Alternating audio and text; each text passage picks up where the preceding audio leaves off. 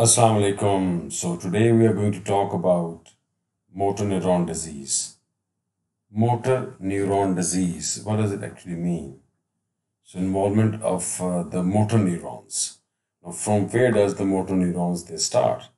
They start from the cerebral cortex, from the frontal lobe, as you would know that the motor cortex is just like in front of a central sulcus, a central fissure Behind that is the sensory cortex lying in the parietal lobe. Front of it, it is the motor cortex lying in the frontal lobe. From where the neurons come down as corticobulbar tracts and the corticospinal tracts. As you guys would know, that as um, you can see this cursor which I am putting on, this is the motor cortex, from where the corticobulbar tracts come to the motor nuclei of the cranial nerves uh, in the brainstem and then the corticospinal tracts, they come down and they negotiate with the anterior horn cells in the spinal cord. And now these are the motor neurons lying in the cerebral cortex. These are the motor neurons lying in the bulb of the, of the brain, that is in the brain stem.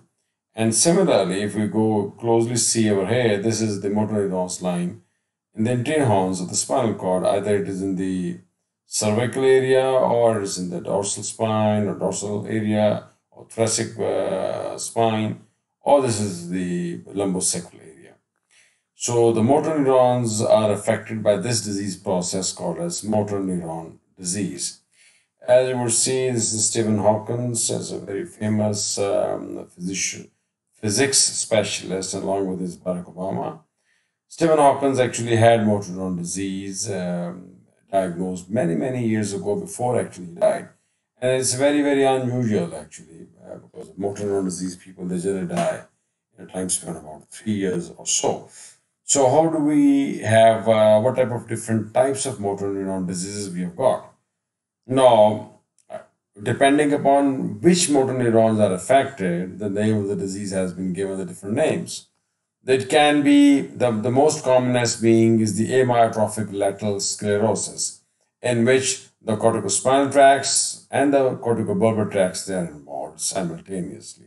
And the patients develop the features of uh, the sclerosis the hardening of uh, the descending corticospinal tracts as well as atrophy of uh, the muscles. Atrophy of the muscles occurs once there is the affection the lesion of the anterior horn cells of the spinal cord or the motor nuclei of the of the bulb as you can see in the on the on the cursor, if you can see very closely, the once the bulbar nuclei are affected, like say, if this is the nucleus of the 12th cranial nerve, that's hypoglossal nerve, what is going to happen? It will lead to the atrophy of uh, of the of the of the tongue muscles, and that is uh, that is called as amyotrophy. Similarly, let me just give you the picture. Like let's say here, you can see the, the left portion of the tongue is wasted. That's typically a pulse. You see here in the, in the hand, you can see a marked atrophy of uh, the small muscles of the hands, we're making a shape of a claw.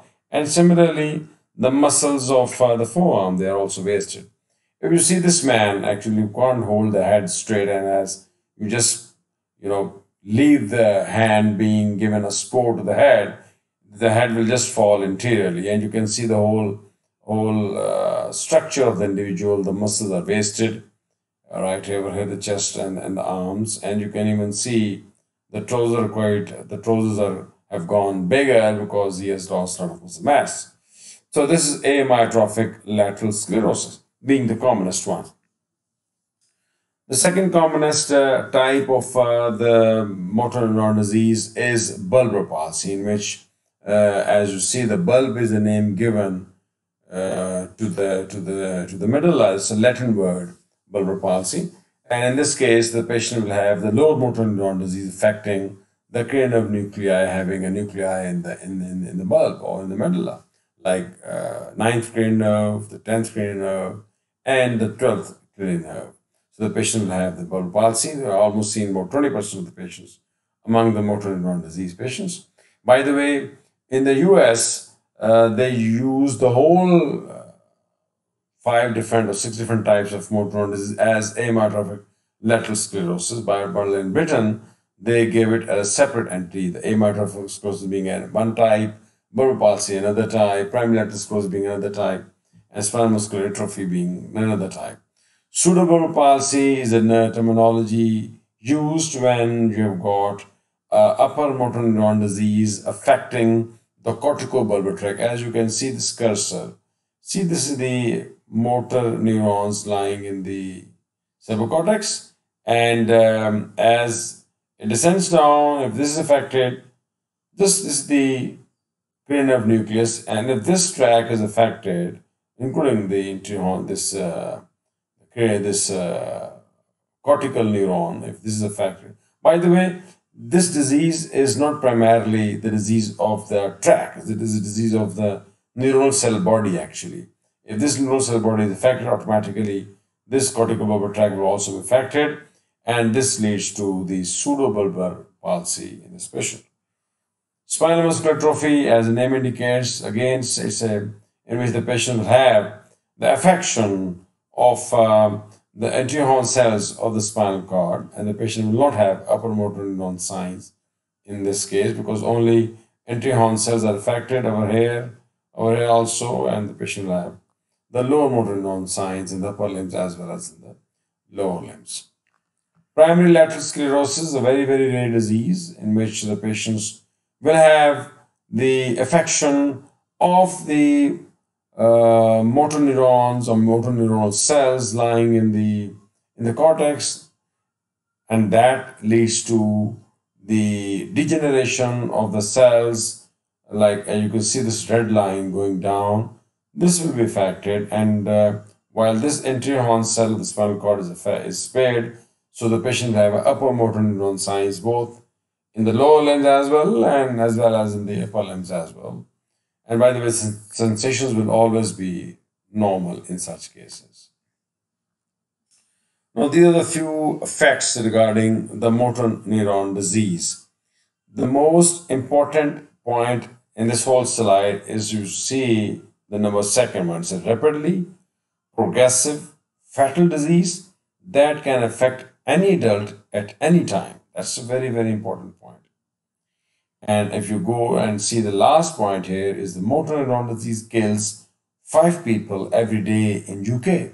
So that's an important point to be noted basically. I've shown this slide to you earlier as well, just to give you an example. How does the motor neuron disease affects the muscles? Yet to give you a general information, again, explanation of ALS is amyotrophic lateral sclerosis is a disease of part of the nervous system that controls the voluntary movements. Amyotrophy means uh, uh, loss is without muscle nourishment, there is muscle wasting, and that muscle wasting is due to the loss of the nerve signals to the muscles. Lateral means to the side, referring to the location of the damage spinal cord, like corticospinal tracts Sclerosis means hardening or hardened nature of the spinal cord. So, uh, just a repetition of what we have uh, read earlier. Uh, so, we have got ALS, the most commonest variety or type of motor neuron disease. It's a mixed upper as well as lower motor neuron involvement. Patient will have the involvement of the limb. They generally start the limbs. Then the patient ultimately develops the bulbar muscles, means the motor nuclei situated in the medulla, and lastly, the patient develops the respiratory arrest. The other, other types of uh, motor neuron disease, as I said earlier, is progressive muscular atrophy, primary lateral sclerosis, progressive bulbar palsy, flail arm syndrome, flail leg syndrome, and then amyotrophic lateral sclerosis plus syndrome. This is plus means the patient will have features of motor neuron disease along with other degenerative processes affecting the central nervous system like dementing illnesses, including frontotemporal dementia and Parkinsonism. Uh, family of it's a family of diseases of unknown etiology. We really do not know what actually causes, but they are very hypothetical points, which I'm going to show you in the next slide. What are the different risk factors that have been uh, blamed for this disease process? It's a progressive degeneration of the upper as well as the lower motor neurons, leads to the wasting of the muscle and the weakness average survival, about 40% people, they actually survive five years. Median survival is two to five years. Median age of onset, or the mean age of onset is 56 years. Male to female ratio is about 2 is to 1. Annual incidence is is two cases per 100,000 people per year. Prevalence is out of every 100,000 people, 5 to 7 people will be having the motor neuron disease. If you take 100 patients of motor neuron disease, the familial cases will be only 5 to 10 cases, while the 90% or 95% people will be sporadic. In the United States of America, 7,000 new cases of amyotrophic lateral sclerosis are diagnosed each year. As I said earlier, that the familial cases are in total is 5 to 10%. And out of those familial cases, 20% familial cases, they are autosomal dominant and related to the mutations in the copper or zinc superoxide dismutase gene. There is a conflicting data showing that what are the different risk factors associated with the start of the development of the motor neuron disease. A person having a background of military service, having a work related with agriculture, factory work, heavy manual, exposure to the pesticides, exposure to the welding or soldering, exposure to the heavy metal, work in plastic industry, repetitive muscle use, athleticism, playing professional soccer, trauma, electrical shock, early onset alopecia, diagnosis of polymyositis, or decreased body fat. Well, if you just have a bird eye view on this slide, you would know, and you will notice that hardly you can spare any individual actually, except I think uh, the persons belonging to the medical profession, they are only spared. Rest everybody is, everybody will be engaged, everybody will be affected, or everybody will have a risk factor. So that means to avoid a motor neuron disease we would not recommend that everybody should become a doctor. But if I go to this conflicting slide, except the medical professional people, everybody else is affected or has got a risk factor to become, to, to, to suffer from motor neuron disease. A very complex slide because the pathogenesis is very complex, some cellular mechanisms, some molecular mechanisms, the most important being is superoxide dismutase 1 mutation. That's the most important thing. Rest, I will not go into the much details of this complex slide. Uh, it's, a, it's a geographically random disease. Nobody actually is, is, is uh, immune to the disease. Um, but I think I would like to tell you that um, in Japan, uh, there's one peninsula called Kii Peninsula. There's increased incidence in the prevalence of this disease there, where you find a combination of dementia and Parkinsonism with amyotrophic lateral sclerosis. Now, all these patients they present? See here, uh, the 100% people, they present with the weakness, while constipation seen about 65% patients. Automatically, if the patient starts having uh, swallowing difficulty, so he will not be eating much. So you expect that the patient will have a constipation. And by the way, the, the, the liquid intake, the swallowing for the liquid will be impaired much more earlier than the swallowing for the solid things. And that makes a main differentiation between a neurogenic dysphagia versus a mechanical dysphagia. And mechanical dysphagia, like you're talking, if you're talking about a tumor in an esophagus, you will have a difficulty in swallowing the solids rather than the liquids. While in neurogenic cases, you get a difficulty in swallowing the liquids first, and then you will get the difficulty in swallowing the solids one. Insomnia, breathlessness, dribbling, pseudobulbar affect. Affect and a mood. Mood, what's mood is by definition is what you feel. You, your mood is good today. That means you're feeling good. And what other people draw out by looking at your face, by looking at your, while listening to your talk, is what is affect. Affect what other people think about you, what other people look at you, what other people think that you are suffering from. So the patient in this case is they, they start laughing um, uh, unexpectedly, they cry. So this is called a pseudobulbar affect. Sensory symptoms may occur, but by the way, sensory symptoms, symptoms may occur in the patient, but there are no signs because if you go into the exact anatomical detail or the facts of the motor neuron disease, you don't get any sensory changes in the sensory tract.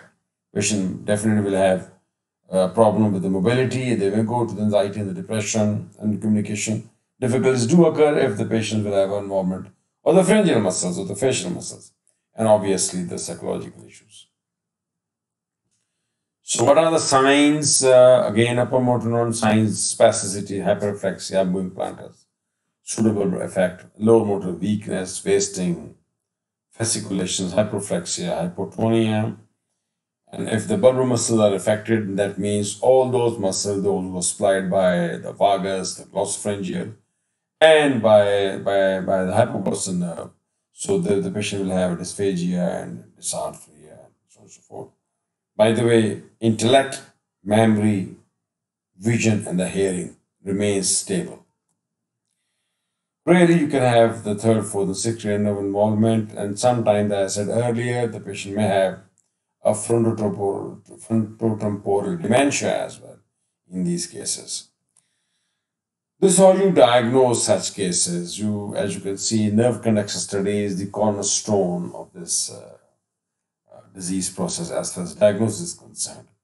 You can see on the top right corner, the Akumen is doing nerve conduction studies. Basically, a neurologist can do it or electrophysiologist can do it. We stimulate the nerves and we check how the conduction velocity is going on. And then we put the needles also into the muscle belly and see how does it look like basically. As you can see, just on the right side of this uh, needle slide over here, this is the normal thing you see once you're putting a needle inside and you're asking a patient to contract a muscle. So that means you need to do you need to know the exact uh, you know, action of that muscle where you're putting in the needle. And then you are then in a neuropathic cases like in motor neuron disease you will find this type of pattern. And if it's a primary muscle disease you will get the c pattern as i'm putting my cursor here uh, well you need to do a ct mri the brain as well as spine blood test and the muscle biopsy to rule the other causes of muscle weakness. Definitely, there are clinical diagnoses of amyotrophic lateral sclerosis. El Escorial criteria is worldwide being used uh, to diagnose. Um, the definitive clinical diagnosis actually depends upon upper and lower motor neuron signs the bulbar and the two spinal regions or the three spinal regions like cervical, thoracic, and then the lumbosacral. And then we've got a clinically probable and clinically probable, lab supported and clinically possible and suspected. So all these things, uh, you classify the disease or you try to come to the diagnosis by putting these diagnostic criteria. So what are the different differential diagnoses of amyotrophic lateral sclerosis? Just imagine. Once you use the term a differential diagnosis, you mean to say, or you want to say, that what are the different diseases which can simulate or which can be confused with the motor neuron disease. So automatically diseases having com- components of upper motor neuron signs purely, or maybe some of combinations may have a pure lower motor neuron signs, they will come under the category of, um, of motor neuron disease. Like if you just imagine the patient has got a parasagittal tumor, a parasagittal tumor, I'm talking about a midline tumor in the brain, uh, over the calvaria, top of the brain, and it's pressing over the motor cortex bilaterally that will cause a similar picture as you will see in patients with primary lateral sclerosis. Patient will not have a sensory symptoms and patient will only have upper motor neuron signs in the lower limbs as, as well as maybe in the upper limbs as well, but mainly in the lower limbs without going plantars and the sensation intact. Similarly, the patient has got a cervical spondylosis and there is, is, a, is a cervical spine compression at the level of compression, the patient will have a lower motor neuron sign in the upper limbs, while for the lower limbs, if it is the compression of the corticospinal tracts, going down to down to the to the to the to the lumbosacral area, the patient will have upper motor neuron signs in the lower limbs, and that will stimulate the the the the motor neuron disease in such cases. Then there's a long list where which we can have a confusion with the motor neuron diseases uh, in, in, different diseases. Uh, from here we go on to the um, treatment portion of motor neuron disease. By the way, um, it's mainly a supportive care. We have two drugs available. One is Riluzole. Uh, is marketed worldwide as Rilutek, 50 milligram tablet to be given twice a day. It actually reduces the glutamate-induced excitotoxicity.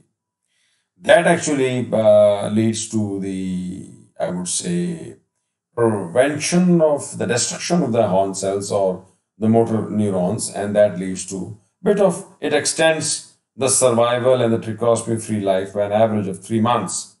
But there are a few side effects as well, as we would expect, like asthenia, dizziness, GI disorders, and elevation in the liver enzymes. Edaravone, uh, it is a recently, uh, I would say, invented drug. It's a free radical scavenger that is thought to reduce oxidative stress. 60 milligrams to be given with IV infusion over 60 minutes, and the treatment is started with a daily infusion for 14 days, followed by 14 days of treatment. Uh, it has got a side effects as we would expect with or with any pharmacological agent.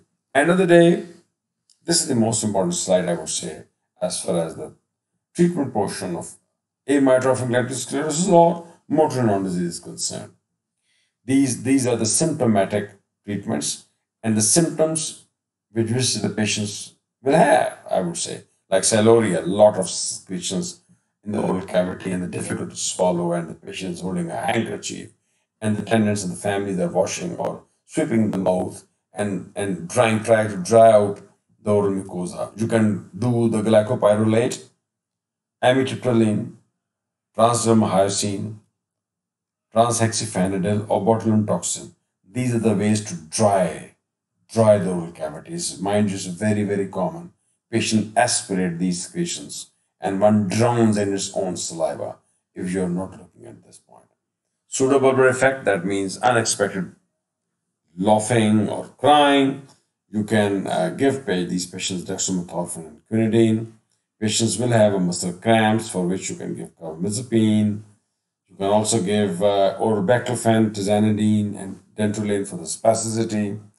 Uh, patient uh, may develop dyspnea, they become anxious as well. You can give midazolam or lorazepam, or you can give a nebulized morphine and saline.